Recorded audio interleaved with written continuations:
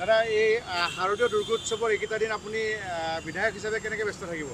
না ব্যস্ত সকলো বিধায়ক আছে সকলো মন্ত্ৰী মিনিষ্টাৰ তেখেতসকলে ব্যস্ত আছেই।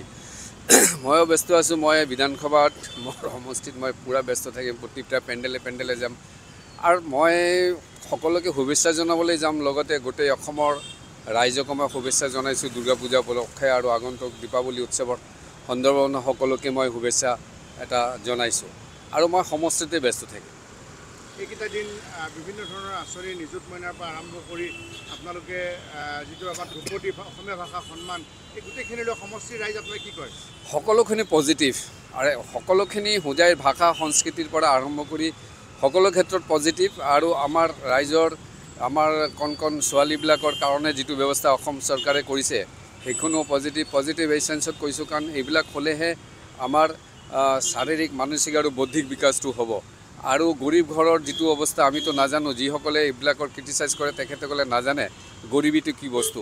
সেইকাৰণে আমাৰ তাৰ লগত খাপ খুৱাই আমাৰ অসমৰ জনপ্ৰিয় মুখ্যমন্ত্ৰী ডক্টৰ হিমন্ত বিশ্ব শৰ্মা আৰু আমাৰ ভাৰতৰ প্ৰধানমন্ত্ৰী নৰেন্দ্ৰ মোদী তেখেতসকলে এইবিলাকৰ ওপৰত যিটো ইনিচিয়েটিভ লৈছে অকলে সঁচাকৈ তেখেতসকলক আমি ধন্য- ধন্যবাদ জনাব লাগে। দাদা অলপ পলম হ'ল। তথাপিও অসম বিধানসভাত আপুনি এটা টুৰিজিয়ামৰ ওপৰত এটা বক্তব্য ৰাখিছিল। যদি মনত আছে অকণমান জনাওকচোন আমাৰ দৰ্শকক। না টুৰিজম মানে আপোনালোকে জানে মই হোজাই সমষ্টিৰ পৰা হোজাই কাজিৰঙা সমষ্টিত আহে আৰু হোজাই কাজিৰঙাটো হোজাই আপুনি যদি হোজাই যোগীজান অঞ্চলত যায় তাতে দেখিব যে একদম মহাভাৰত কালৰ সময়ৰ পৰাই আমাৰ বিভিন্ন পুৰাণ ধৰ্মগ্ৰন্থত উল্লেখ আছে যে আমাৰ যিটো গুৱাহাটীত কামাখ্যাবাৰী এই কামাখ্যাবাৰী সন্দ সন্দৰ্ভতো তাত উল্লেখ আছে। তাত বিভিন্ন ভগ্নাৱশেষ ভাস্কৰ্য স্থাপত্যবিলাক আছে বিদ্যমান। আৰু তাতে ননাথ মন্দিৰো আছে। তাত যিটো শিৱলিংগ শিৱলিংগটো অনলি পিচ যিটো তাতেই দেখা যায় আমাৰ যোগীজান অঞ্চলত হোজাই অঞ্চলত। এইবিলাক চাবৰ কাৰণে আমাৰ ডমেষ্টিক টুৰিজিমটো আমি হেৰিও কৰিব পাৰোঁ আৰু লগতে কাজিৰঙাৰ লগতে বিদেশী টুৰিষ্টবিলাককো আমি প্ৰমোট কৰিব পাৰোঁ। সেই স্থান হিচাপে প্ৰমোট কৰিব পাৰোঁ। তেতিয়াহ'লে জানে আজি টুৰিজিমৰ পৰা কিমান পইচা আহে।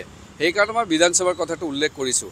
আৰু বৰ্তমানে ভাৰত গভৰ্ণমেণ্ট আহ, আমাৰ যিটো গভৰ্ণমেণ্ট সেই গভৰ্ণমেণ্ট অহাৰ পিছত দেখিছে টুৰিজিমৰ ক্ষেত্ৰতো আমি যথেষ্টখিনি আগবাঢ়ি আছোঁ। আপুনি বিচৰা বাতৰি পাব কেৱল নিউজ এইটিন এপত। নিউজ এইটিন এপ ডাউনলোড কৰিবলৈ স্কেন কৰক এই Q R code Google Play ষ্টৰতো পাব এই নিউজ এইটিন এপ